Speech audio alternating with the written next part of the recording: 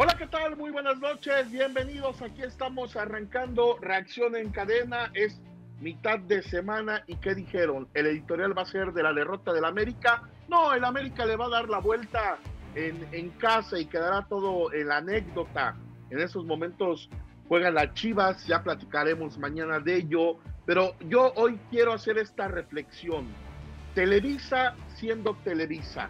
No hay que olvidar que Televisa es el gran organizador de la Copa del Mundo. Y antaño, de la mano de los gobiernos como de Gustavo Díaz Ordaz, de Miguel de la Madrid, todo era alegría, echaban cohetes, les aplaudían desde el gobierno lo que hacían. Hoy me llama la atención mucho un hombre eh, que es, tengo entendido, eh, el vicepresidente del área legal de Grupo Televisa, columnista del Universal, eh, charlista y columnista radiofónico en, en, Radiópolis, en W, en el noticiero de la mañana, Javier Tejado Donde. Javier Tejado Donde en el último año ha marcado la agenda del fútbol mexicano en selección, en, en, en temas eh, de, de la Liga MX. Es decir, de facto se convierte, porque es de facto, porque no lo es de manera oficial, en el vocero del fútbol mexicano para bien y para mal. Hoy en su columna del Universal la titula En la 4T parecen desinteresados del Mundial 2026. Por supuesto que hay un interés en politizar de parte de Televisa la designación de los partidos para México.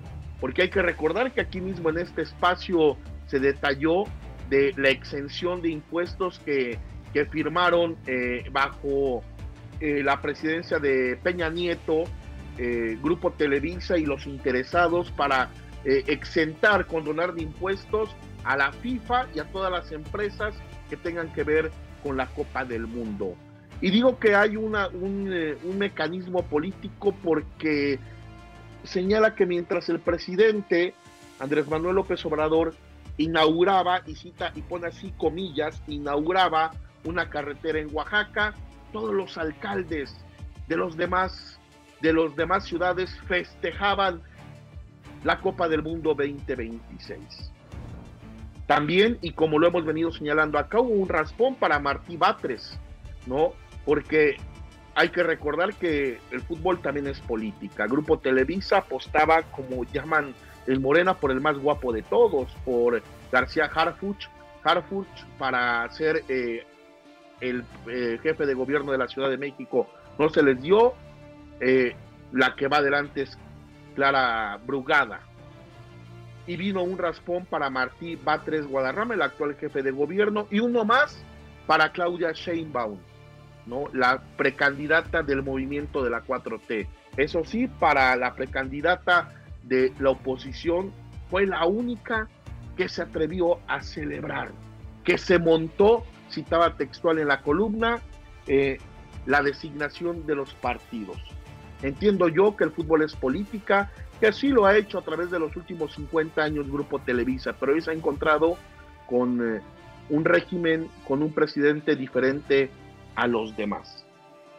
¿Será que quieren aplicar desde Televisa, desde su vocero de facto del fútbol mexicano, el que a periodicazos los políticos entienden, porque eso parece, cuando tendrían lo políticamente correcto y como empresas el buscar quién va a pagar los impuestos.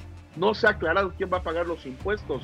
Va a ser Televisa si la FIFA no los paga, porque ahí es donde está atorado el tema y la politización de la Copa del Mundo 2026, como aquí lo dijimos, en plena pandemia como lo dijimos aquí en plena pandemia, ahora tres días después de la, del conocimiento de la designación del juego inaugural, empiezan los golpes bajos para sacar raja política. Arrancamos de esta manera, reacción en cadena.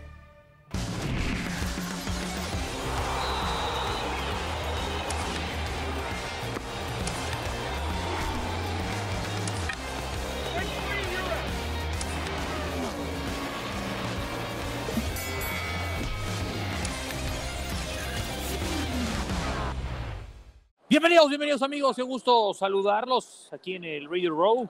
A mis espaldas las famosas maquinitas con todo y los escudos ya de la NFL y del americano.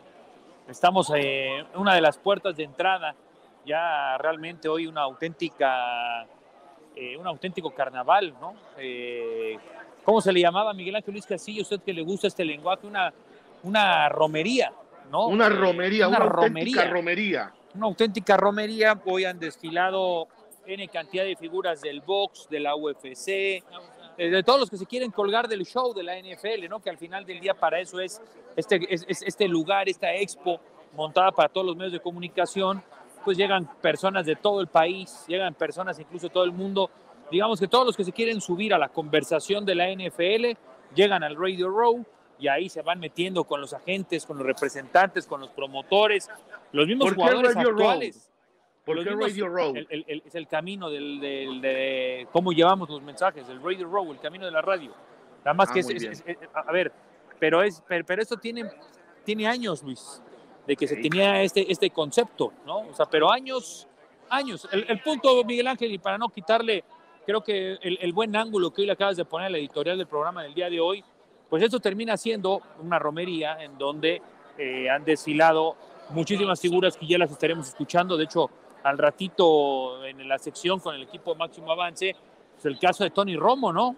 Antonio Ramiro Romo, el famoso coreback de los vaqueros, Matt Ryan. Mucho mejor este comentarista, mucho mejor comentarista que coreback, ¿eh? me queda claro. Pues, y pues va, a haber, va a haber ahí buenos conceptos que lo vamos a tener justamente al rato. Pero bueno, aquí desde el centro de convenciones del Mandalay Bay, del hotel de donde está haciendo la sede de todo del movimiento del Super Bowl 58, Miguel Ángel Luis Castillo está preocupado, está choqueado.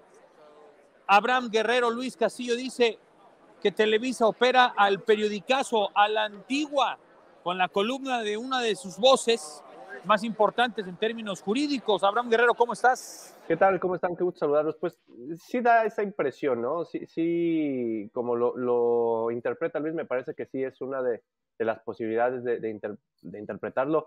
El otro también puede ser como, digo, habrá gente que, le pasó esa idea por, ni le pasó esa idea por la cabeza, ¿no? Sino simplemente como una anécdota, pero evidentemente da en un punto muy importante, Luis, y es algo que tiene la FIFA y es algo que, por ejemplo, ciudades o el alcalde de ciudades como Chicago dijeron, nosotros no le entramos y no le entramos por una cuestión de, los impuestos, ¿no? Que, la FIFA, de los requisitos que está así en el manual de los requisitos para ser sede de la Copa del Mundo, está ese, la cuestión de los apoyos gubernamentales para, la organización.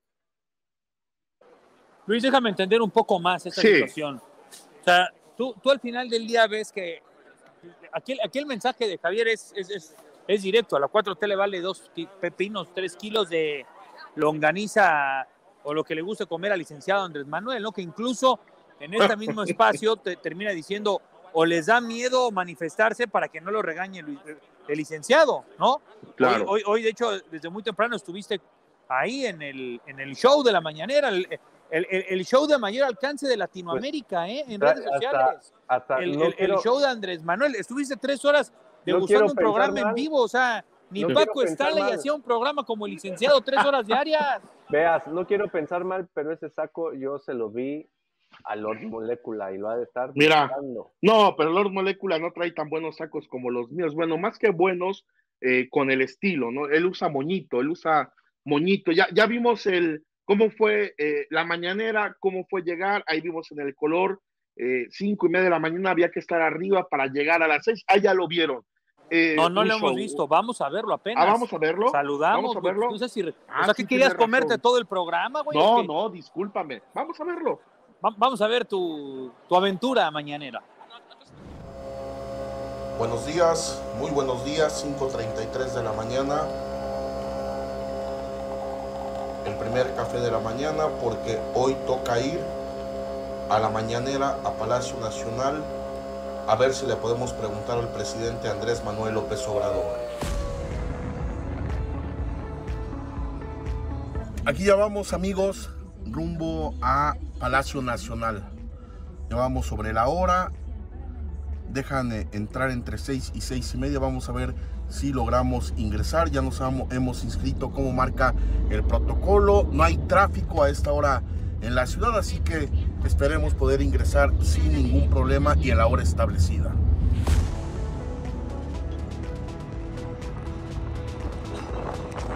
Ya llegamos, ya llegamos. Aquí estamos justo en la calle de Moneda, que es el acceso a los colegas. Es el acceso peatonal del Palacio Nacional.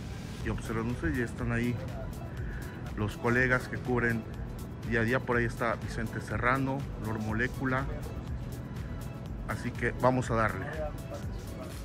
Y ingresamos a Palacio Nacional y así es como se empieza a preparar para la mañanera.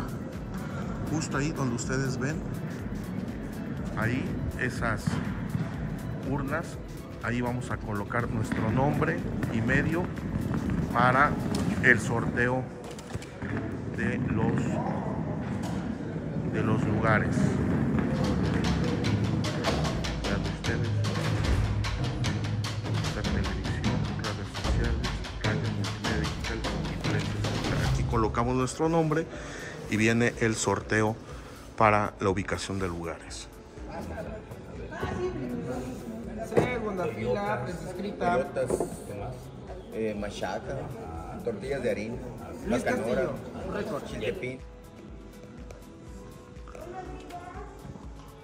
Justo que estamos entrando, nos tocó segunda, segunda fila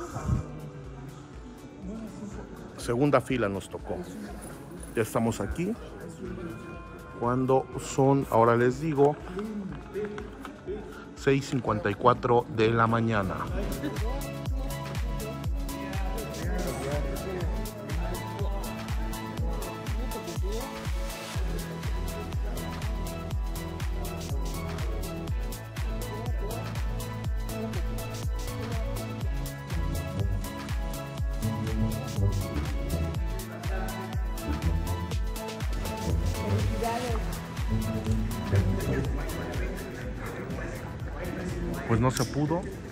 Nos dio la palabra. Vamos a ver si mañana esta historia continuará.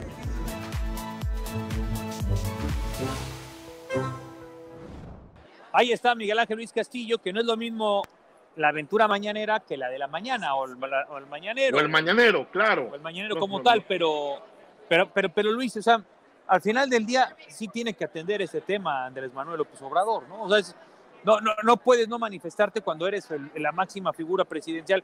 No le va a tocar a él, eso es evidente, le va a tocar a Claudia Sheinbaum. ¿Y no crees que pasa o, en una menor probabilidad a Xochitl. Pues, pero no, pues más bien es un tema que no han llegado al acuerdo, que quieren llegar del tema.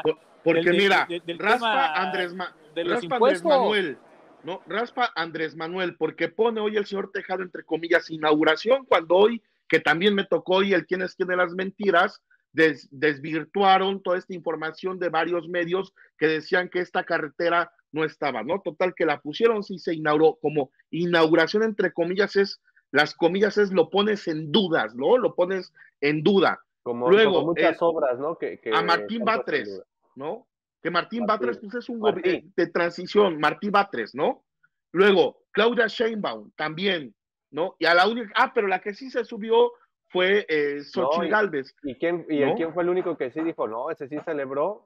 El anterior jefe de gobierno que tuvo ya fricciones, ah, ¿no? Con Mancera, claro. que fue, que, que, que, a ver, Mancera, a él le toca hacer esa gestión justamente con Grupo Televisa para darle forma a la propuesta y al proyecto, ¿no? Para poderlo entregar. A ver, algo, algo que tenemos que entender, Luis, y eso es muy normal, no, no, no hay una junta, sin, no, no pasa una cosa sin la otra. ¿No? O sea, no, no, no van a pasar unos juegos, un mega evento deportivo, no pasa una cosa sin la otra. Esa es la realidad, ¿no? Entonces, más bien aquí, aquí es de ida y vuelta. O sea, es el mensaje del Grupo Televisa que organiza el Mundial. Y claro que está politizado porque Movimiento Ciudadano, vía sus dos personajes, Enrique Alfaro y, y Samuel García, que hoy en Monterrey, creo que no vives en Monterrey porque se le andan curando sabroso en salud, o, literal se le anda curando Samuel, ¿no? De, de, cómo se puso en el palco en el partido de Tigres Pumas. Y, de ahí viene también el otro espacio, que es la, parte de, la, de, esta transformación, ¿no? en donde yo creo que hoy se hace lógica, porque incluso a veces sabemos que le gusta el béisbol y muchos de ellos lo toman. Es que si fuera el béisbol estarían ahí haciendo esto, y X, bla, bla, bla. Bueno, la realidad es que por lo menos hay una sensatez, ¿no? Es como, a ver, pues yo no voy a pagar, yo no voy a estar, pues esto quedó muy claro desde el principio.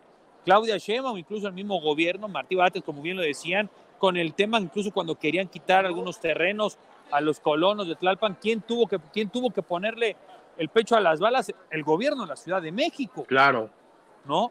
Entonces, pues claro que, claro que hay una historia ahí de ida y vuelta, que no están contentos Grupo Televisa con como que están esperando que venga el, el, el, venga Andrés Manuel, ponlo en la palestra, hazlo y sobre todo pues tenemos que negociar abiertamente el tema de los impuestos. Esa es la realidad, Luis, esa es la realidad, Abraham. No le demos más vueltas. todo lo que mueve, porque aparte de lo que te dicen, los millones y millones, fíjate, ahí te va, ¿eh? El tema de impuestos estos, esta semana en las Texas, en Texas, perdón, en Las Vegas es brutal.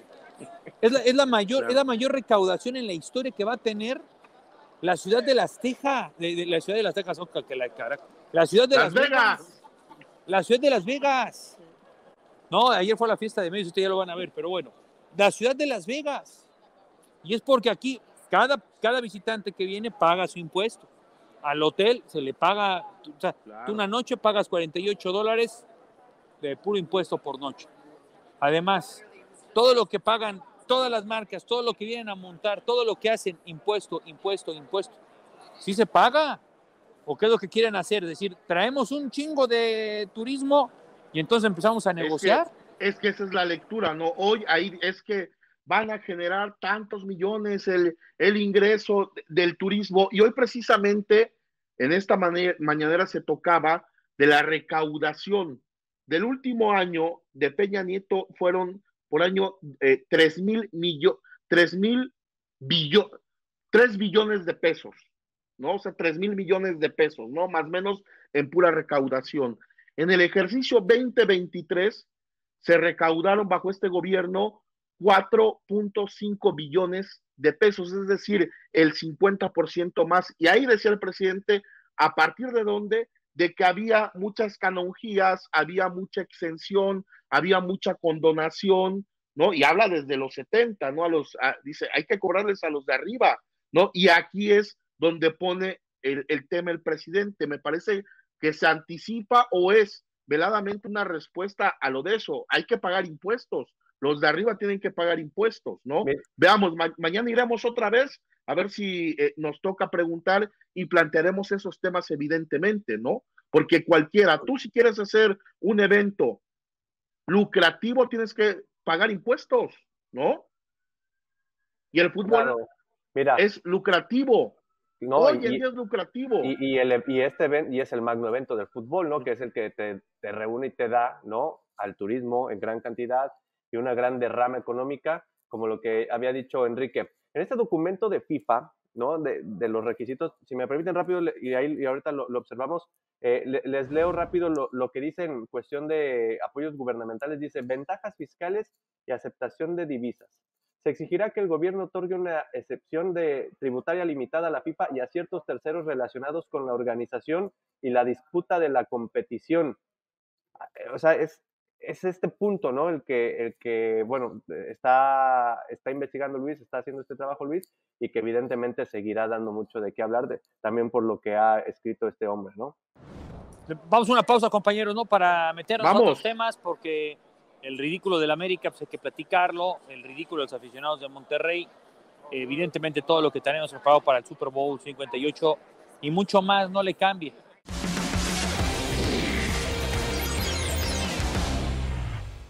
El fútbol es, es, partido a partido, cada partido es una historia, hay que siempre probar durante tus 90 minutos que, que, que, bien, qué nivel tú estás, eh, y es un tema de no solo calidad, es, muchas cosas, concentración, el foco, la forma, la estrategia, capacidad de adaptación a cada juego, a cada cancha, a cada, a cada estilo de partido. Y bien, y hoy, na verdad, fomos superados, quando, porque o futebol, al final, é contundência. E, e com, com as chances que tu tienes, tu tienes que meter. Eh, e o rival nisto foi, foi superior. Eh, menos e las meteu. E produzimos, pero não metemos. pero el gol que hicimos es un gol importante porque nos, nos disminuye la ventaja, nos aproxima un poco eh, lo que tenemos que hacer en el partido de regreso y respetar mucho el rival. Miramos, analizamos, trabajamos el partido como trabajamos todos los partidos. Bien, el tema de las rotaciones, tú rotacionar o no, no, no te garantiza ganar. Puedes jugar todos los partidos con un mismo equipo y no tiene ninguna garantía de que vas a ganar todas, a, a no ser la garantía de que vas a matar a los jugadores con el calendario que tenemos es imposible. O rotacionamos o matamos los, los, los 11 que, que yo elegiría para jugar todos los partidos. Entonces, el América es, es este, este somatorio de todos los jugadores que tenemos. Hay que ir de una forma eh, inteligente, ir usando cada jugador en, el momento que está más fresco, que está más, más fuerte. Eh, bien, y, que cada jugador también tiene que ir aprovechando sus oportunidades, ir mostrando para qué nivel está, porque los, los partidos decisivos ahí están. Y viene, ya se, la semana siguiente viene un partido decisivo. Ahí está el técnico americanista, o par de sufrido brasileiro campeón, el campeón, el campeón con el ballet do Cuapa, el scratch do Cuapa, el ballet amarela. Que ayer, pues realmente, bueno, yo andaba en la fiesta de medios, pero ¿qué pasó, Abraham? ¿Qué pasó, Luis? O sea, el campeón del fútbol mexicano regando el tepache en Nicaragua, papá, en Nicaragua. Yo, dos puntos nada más antes de, de evidentemente, de ceder la palabra a don Luis, ¿no? Y uno, y uno de esos puntos tiene que ver con Luis. El primero es que sí, eh, se equivoca en la cuestión de actitud, me parece, actitud, no en, el, no en los 11 que manda Jardine, porque rotaciones iban a tener los, la mayoría de los equipos, ¿no? Por, por las competiciones en las que están pero en la actitud de los que estaban en la cancha sí, evidentemente deja, deja bastante a la duda, ¿no? Si fue esta cuestión de soberbia. Y la otra, don Enrique, ayer que nos decían que, ¿cómo nos aleccionaban, don Enrique, ayer de que, no, si gana Tigres, Monterrey o, eh, digo, Tigres, Chivas o América, la Conga Champions, es triunfo para ellos, ¿eh? No para el fútbol mexicano. Y ayer mismo, don Luis Castillo en su Twitter, no, eh, cómo desprestigian la imagen del fútbol mexicano. O sea, o es o no es, don Luis. Es la única pregunta con la que me quedé. A medias, es a medias. Pero es anecdótico lo de la no América. Hay, no hay media, no, ¿Cómo va a ser? A, no, sí le va a dar la vuelta, pero ayer ya hizo el ridículo. O sea, ah, no, el ridículo ahí queda. Recuerdo que una vez con Matosas eh, en Heredia, en Costa Rica, perdió 3-0 y vino acá monumental y la historia ya se la sabe, la narrativa. El América vino de atrás y derrotó y las águilas siempre vuelan. Eh, ya, ya, no sabemos la historia de siempre. A mí lo que me parece, y, y aludo aquí directamente a, a Beas, de, de, Emilio Lara. Eh, ¿Qué pasó con Emilio Lara, Enrique? ¿Por qué esta crítica tan constante a la joya, más allá, a la más revelación allá, del más fútbol allá, mexicano? más allá del regalo? Más allá del regalo, lo que pasa es que, a ver, acuérdate, Emilio Lara estaba candidateado para ser el futuro de la lateral del fútbol mexicano, ¿no? no y novato, incluso muchos novato por, año, muchos, muchos por fue. encima incluso de, de Chiquete Orozco, ¿no? O sea, esa es la realidad. Pero, pero hoy tú ves que el muchacho, lo que pasa es que hay, hay una escena que, que, hoy en las redes sociales se difunde demasiado, que también le hemos compartido, el famoso quiebre de cintura que le hace Pavel Pérez en aquella voltereta para eliminar a la América. Pero el, el, el, tema, el, el, tema crucial y el tema de fondo es un futbolista que quedó abandonado a su suerte, que, que mentalmente no han podido trabajar con el muchacho. Y hoy este megaproyecto americanista con la mega nómina y el mega plantel y lo que nos dijeron que tenían tres jugadores por posición y que es una locura y que no sé qué tanta de santa madre, bueno, pues evidentemente ante la lesión de Kevin Álvarez, América adolece ahí, ¿no? Y, y cómo se pierde un talento, cómo se pierde una promesa. Y se pierde creo que en gran medida por lo que tú has dicho en el entorno americanista. Ayer América pierde por, por un común denominador cuando pierden los equipos mexicanos en Centroamérica o en Estados Unidos o en otros lugares. Pierde por soberbios. Pierde por el poco reconocimiento que hay hacia el entorno de un partido como tal. Nadie, nadie, nadie duda que América va a ser en la siguiente fase. Que le va a meter cinco goles al equipo nicaragüense, le va a meter cinco goles. Pero el poco respeto cultural que hay deportivo a este tipo de competencias. ¿no? O sea, al Real Madrid ese tipo de sorpresas no, no, no, no le van al Bayern Múnich. Tien, tienen que ser auténticos milagros. En el fútbol mexicano es muy normal. Ayer presume el equipo de Monterrey, pero han tenido derrotas de visita porque justamente las cuidan mucho. Guadalajara está en trámite el partido, pero pues desde que dejas al Pocho, al Piojo Alvarado, desde que no viajas con todo lo que tienes, con lo mejor que hay, pues a lo mejor tú les puedes dar descanso y se entiende. Pero, pero, de pronto es como es increíble que aún así un cuadro alternativo no salga realmente, se guardan la pierna, no entienden el contexto del partido y van, y van en contra. Por eso, por, eso creo que lo de ayer del América sí se tiene que manejar en, un tema de papelón. No es el único. E insisto, el fútbol mexicano está acostumbrado a los papelones centroamericanos. Sí, Enrique, pero a ver, una cosa es que en la planeación y por la carga de trabajo tú dejes algunos elementos, ¿no? Y que así lo, lo expliques, ¿no? Como por ejemplo, ayer lo hizo Fernando Gago, que así lo explicó, ¿no? Con los que dejó en, en Guadalajara. Y la otra es que con los que vas a jugar y en los que metas a jugar, tengan ciertas actitudes, ¿no? Es, eso es totalmente diferente y eso es lo que te lleva a estas derrotas, a estas humillaciones, ¿no? Porque puedes perder, pero la manera en la que sucede, y con todo y el gol de visitante, ¿no? Que alcanzas a rescatar, ¿no? Pero la manera en que sucede, con ese penalti, cómo te lo ejecutan, ¿no? Luego el otro gol, ¿no? Eh, sin marca, eh, prácticamente. Y en los dos metido este muchacho Lara, ¿no? En, las dos jugadas metido este muchacho Lara, que hace que se haga más grande, ¿no? Con, con esta rivalidad y, y, con la gente de Chivas también hablando de ello sea, ese, es, ese es el real problema, no que dosifiques, no que le des descanso a tu gente, sino la manera en que pierdes. De acuerdo. Yo, yo coincido con ustedes. No decía, eh, veas, en el caso de Lara, ¿no? Que sí, desde el Tata Martino lo ponían ahí, el, el gran canterano del América, no sé si se llegó a comparar hasta con Cuauhtémoc Blanco, aunque en diferentes posiciones, pero sí hubo una campaña mediática de que era el canterano que América había construido, ¿no? Yo, yo, yo sé que sí lo ayudaron, pero pasó mucho por el tema, o ha pasado, porque, a ver, ya no va a dar, ojalá y pueda, pueda rescatar él su carrera y esté en él, ¿no? En rescatar su carrera, porque aptitudes seguramente va a tener que lo mostró en algún momento. Igual ya no en América, ¿eh, Luis. Igual ya no, igual ya no, y perder el foco. Pero, por ejemplo, alguien me decía hace no mucho que, que lo trataron de ayudar, ¿no? Desde la agencia que lo representa. Llegó un momento que tenía la novia en Guadalajara. ¿Cómo se iba todos los días a Guadalajara? No me supieron identificar si en moto, en auto o en avión. Puede ser que en avión, ¿no? Si fuera en moto, en auto, qué riesgo. Supongamos que en avión, pero él venía prácticamente todos los días de Guadalajara, ¿no? Poniéndose en riesgo y no descansando, ¿no? De ahí la agencia su novia, eh, futbolista también profesional, lo que hizo la agencia que lo representa es, vamos a tratar de evitar eso. La trajeron a jugar a la Ciudad de México, ¿no? Pero ya sabes, hablas de, esta poca mentalidad, ¿no? Que cuando dices, hombre, eh, estando en la palestra y que se te vaya a la carrera, ¿no? Por este tipo de actitudes, porque hoy a los 23 años, 24, ¿cuántos tiene? Parece que su carrera está muerta, ¿no?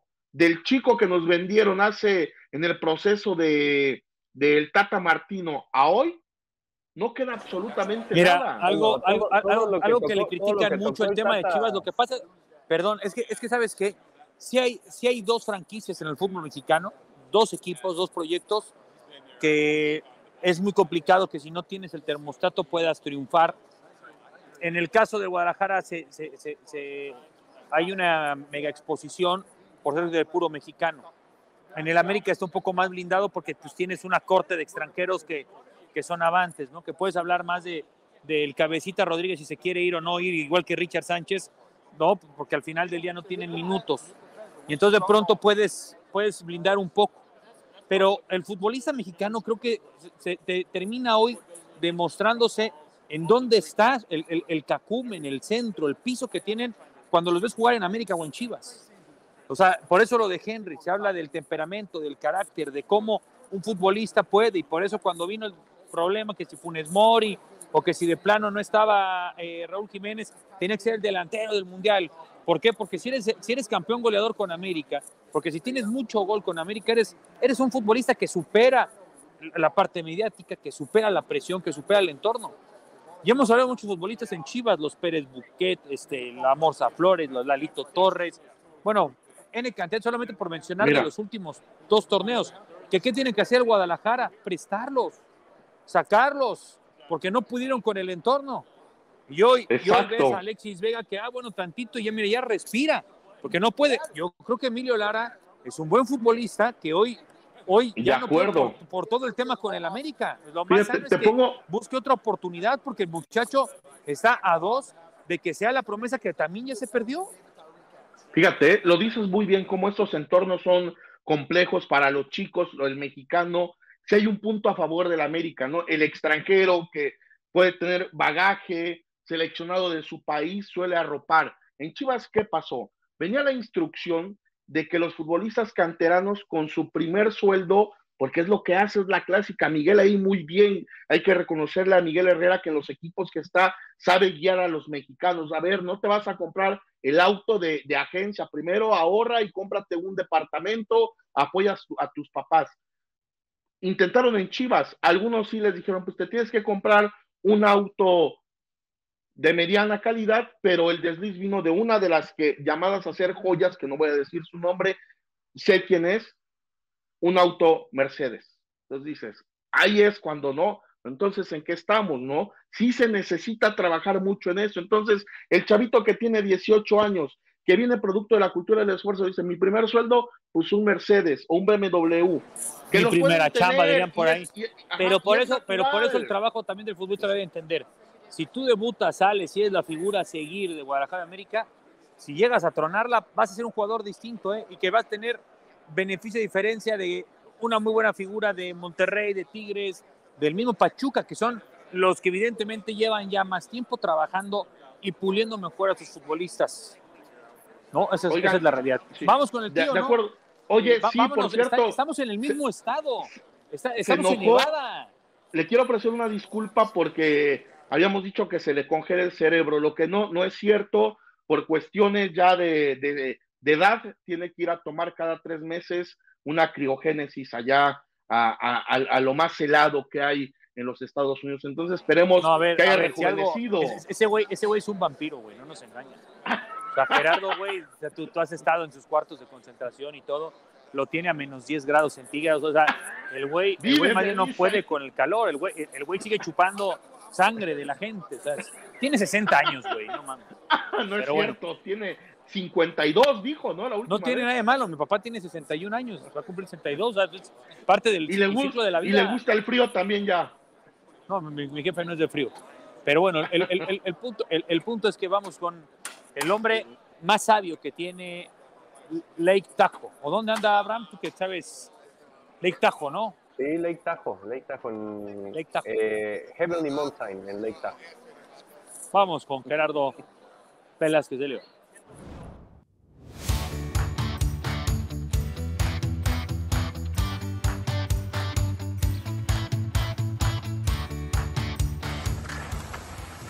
Como siempre, interrumpiéndome en plena vacaciones, increíble. Pero bueno, aquí estamos después de todo lo que sucedió el día de ayer en Nicaragua, vergonzoso, asqueroso, verdaderamente patético lo que sucedió con el América. Pero primero vamos a ver lo que es este maravilloso lugar donde estoy y donde la verdad los invito a que vengan. Bueno, día 3 en Heavenly. Las condiciones espectaculares del solezazo. Estamos a un grado cero. A diferencia de ayer que estábamos a menos 10, 11. Aquí voy a dar un camino. Ayer mismo tomé y no se veía absolutamente nada.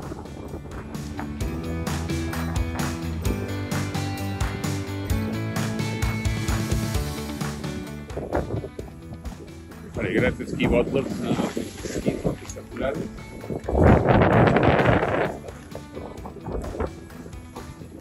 Quedó el electric clutch que de ayer no se veía maldita la cosa.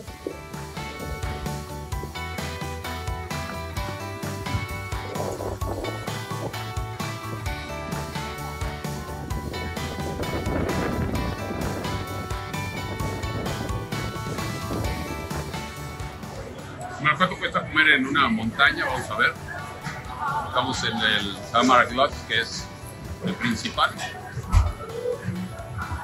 Van unas papas que valen 14 dólares, no, 8 8,79 Un sándwich de pollo 20, 20,79. Una ensalada caprés y hasta otras más detalladamente. Y sí, bueno, ahí están los precios.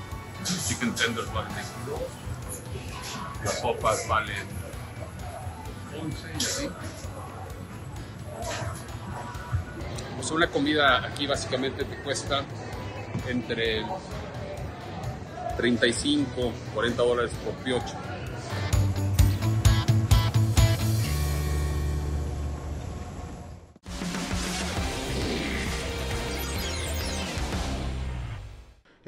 Choque entre las dos barras, entre comunicaciones y rayados.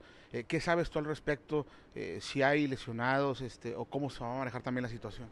Muy poco, muy poco, porque esto se dio eh, durante el partido y después nosotros salimos directo al aeropuerto y ha sido un viaje largo.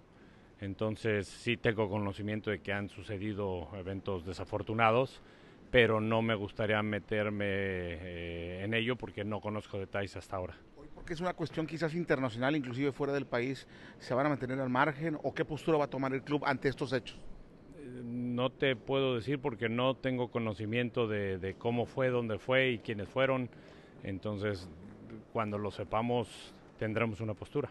Es, es, un torneo internacional, entonces estaremos en comunicación. Seguramente ya lo está nuestra área eh, adecuada con la gente de CONCACAF, porque así lo supe al término del partido antes de dirigirnos al aeropuerto y volar y conjuntamente mm, habrá comunicación y habrá acuerdos. Híjole, continuamos, continuamos amigos desde el Radio, Radio Row, Mandalay Center Convention, aquí en Las Vegas, Nevada. Don Veas, antes de pasar a tema serio, ¿no? Eh, en esas sí. maquinitas que tiene usted atrás, sí. ahí en una de esas, no, sí. qué, qué ganancias, don Luis, ¿se acuerda cómo Mira, no, ahorita está. Le, le, de, de, ahí saqué, de esas, de esas máquinas saqué para, para tus zapatos que te regalé, veas. Bueno, Eso yo es todo, güey. ¿no? Pero ahora están con los, es que, con los es que, de es que ya lo, mira, ya, ya, ya, lo vamos a platicar al rato con el equipo, son de los temas que tenemos preparados. Yo les quiero preguntar justamente a David Andrade y a, y a Arturo Carlos, pues si, si realmente Las Vegas ya la están viendo como una plaza tochera. Pero bueno, oye, rápidamente, de hecho me tengo que quitar esta situación porque ya vamos al otro lado del, del, del, Radio Row para platicar con el equipo de máximo avance. Pero lo de ayer, qué terrible, ¿no? Terrible lo de Monterrey. Algo, algo tiene que pasar. Entiendo, entiendo Luis Abraham, que, que Monterrey institucionalmente pues tenga que reaccionar, hacer un comunicado. Que hoy los comunicados de los rayados se sienten muy escuetos o planos porque ya son muchas, ¿no? O sea, ir al gigante de acero, en los últimos tres torneos hay promedio de temas de violencia en al menos tres partidos. Por, o sea, estoy hablando de promedios, ¿no? Y, y escenas brutales. Eh, en otros lugares, en otros frentes, lo que pasó en aquel mundial hace un par de años que fracasó el equipo de Javier Aguirre. Con las hieleras, ¿no? Hay, hay, hay, hay, hay algo que se tiene que revisar a profundidad, ¿no? Eh, lo que acaba de pasar con Santos, que no, o sea, claro que es, es un tema de desgracia, ya se perdió una vida. Da, da, pero, en el pero, punto, ¿eh? pero algo tiene que hacer la directiva para, para, ir a fondo y decir, oigan, perdón, perdón, pero así no, así no hay apoyo, porque van a decir, nosotros incluso, no apoyamos, no nada. Incluso, no se veas, puede. Luis, no se este, puede. este, comunicado, ¿no? Que estamos ahí viendo de, de la misma CONCACAF, ¿no? Que tam, es igual de escueto, ¿no? O sea, tampoco hay, hay algo muy concreto, ¿no? Cuando condenan sí estos hechos, ¿no? Que suceden entre la gente de comunicaciones y de, rayados, pero no hay, ya pareciera que ya se necesita algo enérgico. Bueno, lo hemos dicho cuántas veces también ya, ¿no? Y no sucede nada, pero pues siguen siendo los macho, los comunicados de machotes, nada más cambiándole los, los nombres de los equipos, ¿no? Hoy ya hubo, que tiene que ver lamentable lo que pasa en Guatemala, hoy ya en Torreón hay voz de la secretaria del ayuntamiento, viene otro partido de alto, tenemos, o sea, si no logramos entender en dónde eh, está parado el fútbol mexicano, es, el partido es Santos Tigres el fin de semana, ¿no? Debe de ser tomado y se debe dar el tratamiento, tratamiento de un partido de alto riesgo, porque si no le ponemos el nombre y apellido a lo que es, nos seguimos haciendo tontos. ¿Es un partido de alto riesgo, sí o no? Sí, porque hay antecedentes. Qué bueno que hoy salga la secretaria del ayuntamiento, qué bueno que va a haber un, eh, un, dispositivo de seguridad amplio, pero si desde la federación y la Liga MX no hay ese reconocimiento, ¿no?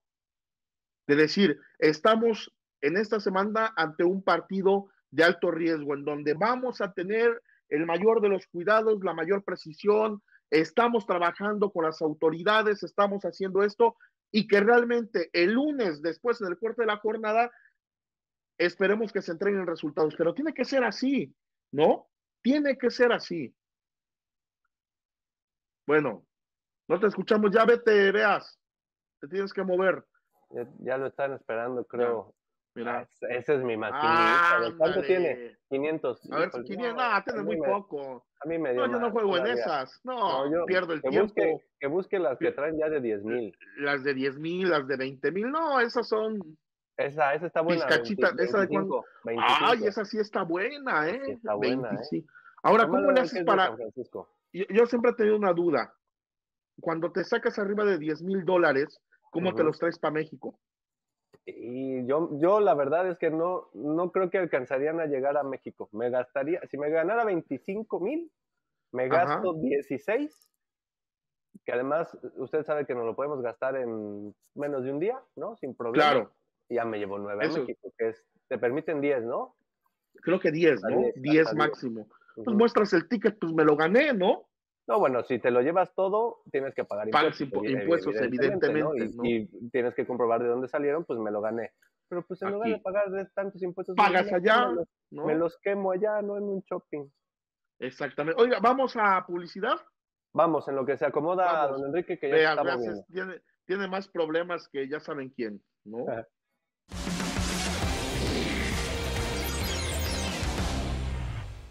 Continuamos, continuamos. Aquí andamos desde Radio Row. Bastante cruditos estos señores. Eh, Arturo Carlos, voy a andar un servidor Enrique Veas, porque ayer fue la fiesta de medios y se ve que en, Ecuador se bebe y se bebe de qué forma, ¿eh? Mi querido David, ¿cómo estás? Qué gusto saludarte. Un gusto, Veas, y mira, se, vive la fiesta en todo lado de Sudamérica. Me dan ganas de abrazarte cada que te veo, de cómo no llegaron tus cuervos de Baltimore. Ha estado toda la temporada pegado en Baltimore.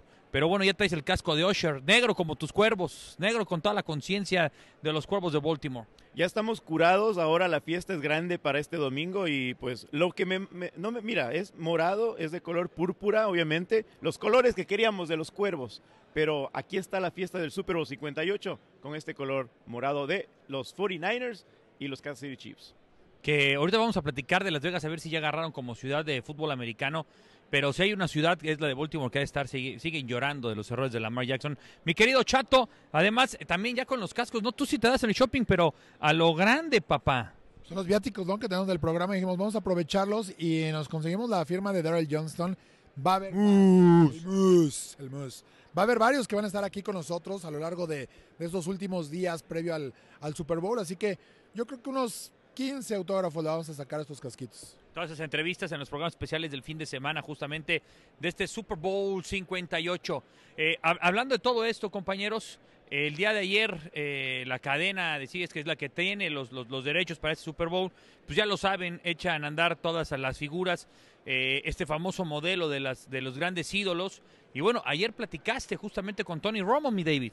Sí, Tony Romo estaba contento de este matchup, ¿no? De los 49ers y los, los eh, Kansas City Chiefs. Me gustó la parte analítica, él como un eh, former quarterback, me dio su punto de vista y, habló, mucha gente se fue, se lanzó contra Tony Romo porque sabe lo que él representa a la liga como former quarterback y lo que él representa cuando está como analista, que él mira las jugadas diferente y todo eso, ¿no? Así que fue una plática muy padre que tuvimos con él si realmente con ese talento le hubiera dado algo a los vaqueros, ¿verdad? Pero bueno, pero bueno. Lo que son las cosas, todo el mundo criticaba porque decían que, que los Cowboys no iban a llegar con Romo al Super Bowl. El güey está aquí y los Cowboys no llegan, ¿no? Pero Ya tampoco estás mamila tú, ¿eh? tampoco estás mamila. Vamos justamente a escuchar y ver a Tony Roma. Hey Tony, when uh, you as a, as a, former quarterback, I know when you broadcast games, sometimes you kind of like uh, anticipate the plays, and that's you know good uh, factor for you. How challenging and fun at the same time is Andy Reid versus Kyle Shanahan? This is one of the great matchups. I mean, you're talking about Andy Reid's on the Mount Rushmore of coaches now. I mean, he's he's way up there, and I mean, he's challenging the greats, greats of the game, and he's already in that class. But I think he's meeting a guy who's like a young Andy Reid in Kyle Shanahan. I think Kyle Shanahan and Andy Reid develop a game plan as well as any coordinator or head coaches ever have. I mean, this is Bill Walsh level, and they might even be taking it up a notch in the sense that you know the evolution of the game, they're always a step ahead, like Bill was back in the day. Bill would do the same thing nowadays if he was around, but to me, it's going to be one of my favorite things to call is just the chess match between these two coaches. What's your plan going in? The Chiefs scored an opening drive touchdown in eight straight playoff games. That's incredible. It's almost unheard of. That means that your plan going into it is not only having the right play calls, but also predicting what their plan is going to be. Because you don't know. In the first drive, it, you're kind of feeling out what their plan is. They they've studied all week. They're going to come up and do this, and somehow the Chiefs have been able to do that. It shows you their ability to sense their opponent and know what's coming. And I think early in this game, you'll find out very quickly. Ahí está Antonio Ramiro. ¿Cómo, cómo le dices, Antonio? Antonio Ramiro, ¿no? ¿Pero ¿Cómo le dice John Sutcliffe? Eh, Antonio Ramiro, ¿cómo se siente haber perdido tantos partidos de postemporada, pero ahora estar en Super Bowl?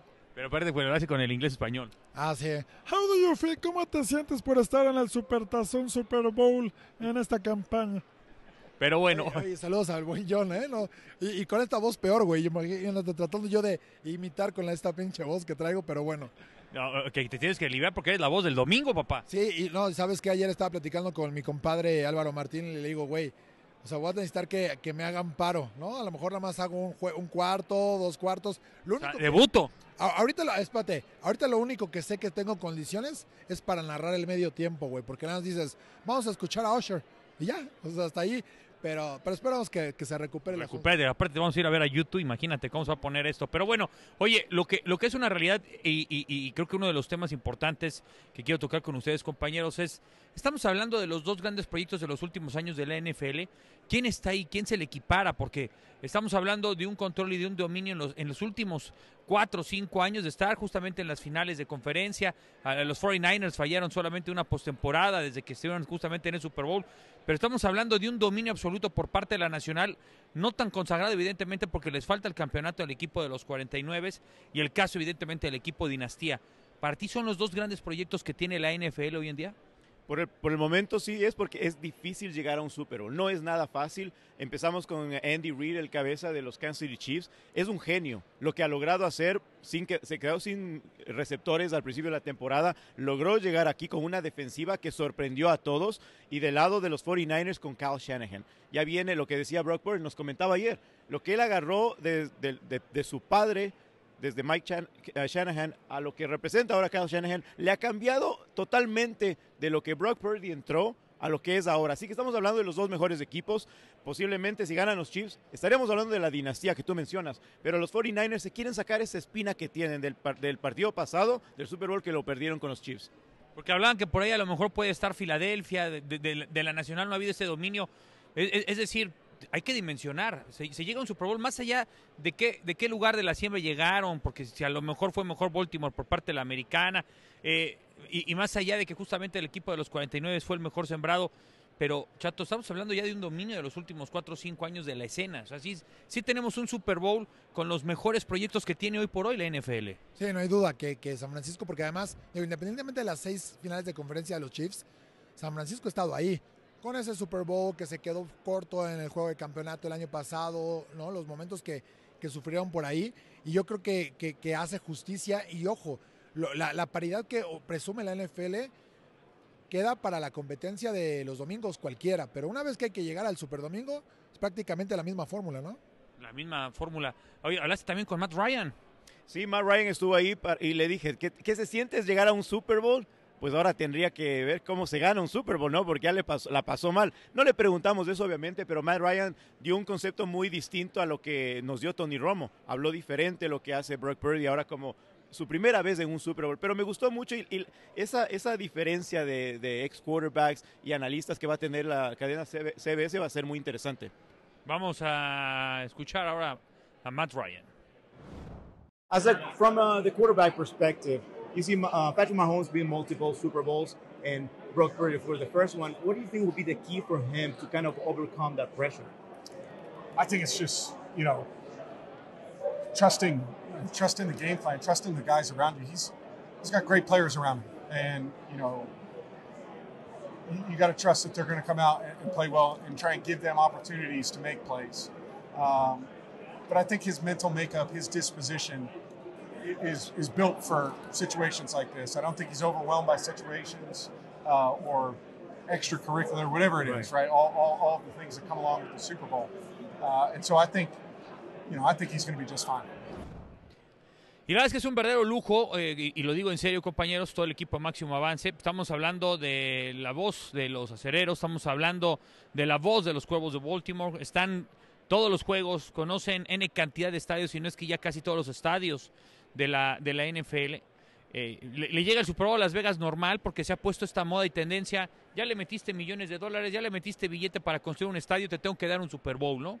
Eh, pero la ciudad de Las Vegas, ¿tú ya la consideras una ciudad tochera? Mira, lo, lo dijo Bruce Buffer, que por cierto dio consejos de cómo arreglar la voz a Arturo Carlos. Él mencionaba que esto, este es lo más alto que puede haber. Y qué mejor lugar que Las Vegas, y Bruce Buffer está conocido como el announcer de la UFC y sabe lo que es Vegas. Y dijo que desde que llegó el fútbol, la NFL acá, no ha visto otro deporte igual que pueda tener este impacto en la ciudad de Las Vegas. Así que puede ser un cambio rotundo para lo que pueda pasar más adelante. Híjole, eh, creo que ese, es el discurso que nos presentó la serie de Ballers, ¿no? O sea, como que ya veníamos para acá, y, pero pero ¿de dónde se puede crear una afición? Sobre todo porque el equipo de los Raiders pues, estaba muy consagrado en la parte de Oakland. Pero más allá de eso, ¿quién pinga sabe de americano en esta ciudad? Saben de cabaret, saben de burdel, saben de show. Bueno, de, luces, pero de americano. Fíjate que la, única ventaja que tienen los Raiders es que tanto Los Ángeles como la Bahía está cerca, prácticamente a la misma distancia, para llegar a Las Vegas. O sea, la afición que se quedó allá, olvidada muchas veces en Los Ángeles o por supuesto en Oakland, un poco despechada, puede venir acá, pero el problema es que eh, viene algo en contra. ¿Quién no quiere venir a Las Vegas? Los güeyes que vienen de visitantes van a, si dicen voy a ir a un juego, quieren ir a Las Vegas. Entonces se convierte en esa arma de doble filo porque ahora mucha gente, el partido que va a querer ir apoyar a su equipo es contra de visita contra los Raiders y eso mete mucha afición. Digo, Pittsburgh el año pasado aquí le metió una muy buena cantidad, era no mayoría, pero oye, no puedes jugar de local con el 60% del público. Híjole, pues, yo me siento como como en esa etapa cuando a lo mejor vas a un estadio que, que no tenía un equipo y, lo pones por en, aquellos entonces por el clima, por la temperatura, ahora es por el show. ¿no? O sea, vamos a ver si, si calienta. Ha estado muy fría la ciudad de Las Vegas, va a seguir fría, lloviendo, por fin ya se quitó la lluvia, pero vamos a ver si encontramos un ambiente de Super Bowl ya a partir de estos días, que así como está en las calles, evidentemente, o en el Strip, pues no ha existido. Pero lo que sí es que ayer nos hicieron una tremenda fiesta en el tema del paddock, allí en la, en la Fórmula 1, ¿no? Pero bueno, pues los veo los veo dañados, pero si les parece antes, vamos a ver qué van a comer en los suites, porque realmente también esto es una competencia, le meten chefs, le meten toda la parafernalia estilo eh, la NFL, así que vamos a ver lo que prepara nuestra compañera Mayra.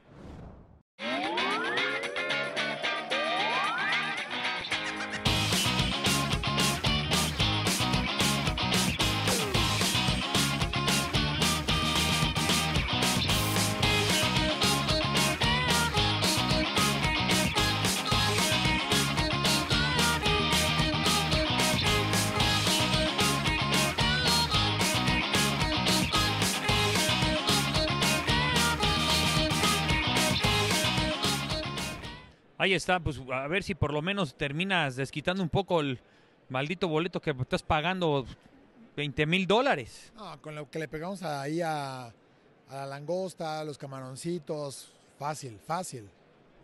Oye, ayer la fiesta siempre es también una tradición en la semana de la NFL, te hace una termina fiesta. Creo que ayer terminan dándole en el paddock del nuevo paddock de la Fórmula 1. Hay que recordar que apenas el año pasado, en noviembre del año pasado, se estrenó el, Gran Premio de la Fórmula 1. Empezó con el famoso tema de las coladeras. Eh, ya conocimos ahí la zona. Eh, realmente la dejaron muy bonita, al lado de la esfera. Termina teniendo también un skyline interesante de la ciudad. Y en todo ese chorizo de paddock, en donde están los talleres, en donde entran justamente los, los, carros a pits, en donde entran las monoplazas, pues ayer se hizo una fiesta de tres pisos, con todo un barrio que si los chinos, que la parte de lo que es Las Vegas en el piso 2, en el piso 3 el antro, las diversiones, los shows, otra vez los Blue Man, los, otros güeyes ahí que te hacían no sé qué caras, Arturo. Ahí andaba toda la banda echando el trago, por eso parece que no traen voz. Pero lo que es una realidad es que también Las Vegas sí te da esa otra cara.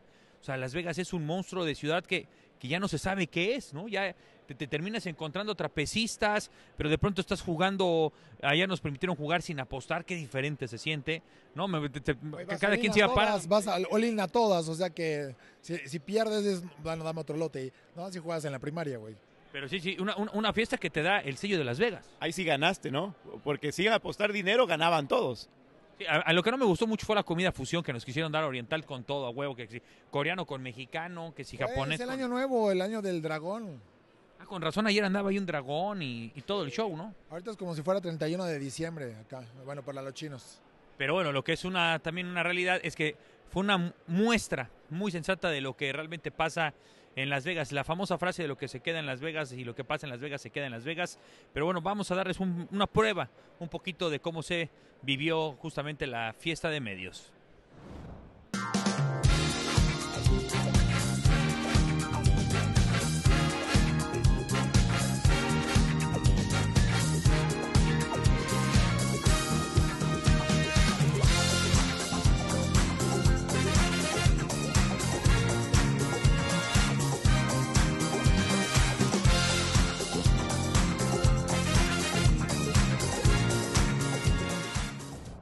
Ahí está, pues mi querido David, aquí seguiremos este, estos días ya que se viene ya de cara a lo que será la transmisión del próximo domingo, eh, pero se va a poner bastante sabroso ya estos días, eh, un día más en donde van a estar abiertos los equipos, en donde se empiezan a acabar ya las oportunidades de dialogar para que venga ya la concentración a tope de las dos grandes franquicias que jugarán el Super Bowl 58. Así es, estaremos toda la semana con toda la cobertura de los dos equipos, tanto los 49ers con los Chiefs, y conversando con cada uno de los protagonistas, así que estés en sintonía de todas las redes sociales. Ya no llores, Lamar Jackson no va a ser totalmente campeón. Totalmente curado, ya estamos curados, ya es día miércoles, pues ya curados totalmente.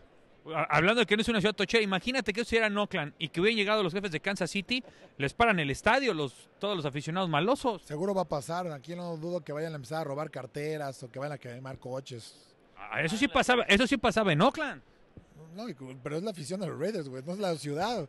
Así que aguas. O sea, se puede poner pesado. Se va a poner pesado. A ver, esa es una realidad. Pero bueno, también entrevistas muy buenas, mi querido Chato, que se está preparando con también otros más y otras grandes figuras de la NFL justamente aquí en el Radio Row para que no se despeguen en todo esto que tenemos del Super Bowl 58.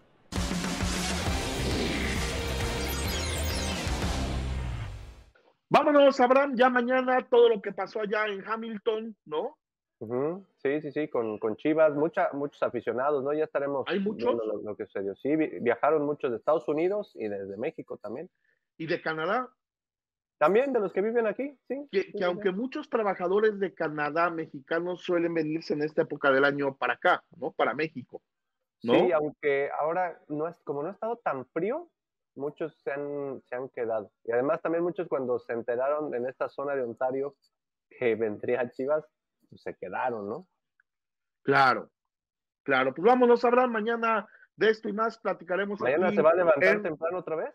Otra vez, otra vez. Bueno, Híjole. A darle. A ver si mañana sí, ¿no? Pero a ¿qué ver va a si mañana sí. Cuando le dé la palabra al licenciado, ¿qué va a hacer? ¿Le va a preguntar o le va a decir, lo quiero mucho, licenciado? Pues sí, el presidente constitucional de todos los mexicanos. Yo no, qui- yo no quiero preguntarle nada, yo nada más quería saludarlo. ¿Cómo? ¿cómo le va? Gracias. Vámonos. Descansa, Abraham. Buenas noches. Buenas noches.